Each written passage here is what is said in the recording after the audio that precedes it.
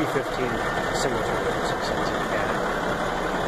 As you can see, it's got windshield up kit on it, real oil rims, uh, sliding fifth wheel, 24.5 rubber, dual exhaust, dual meters, dual stacks. Overall, very nice unit. See the emergency beacon lights on that. Aluminum exteriors, dual line. See the holding tank there.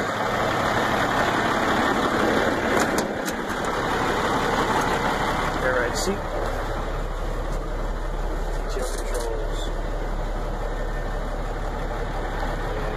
And radio.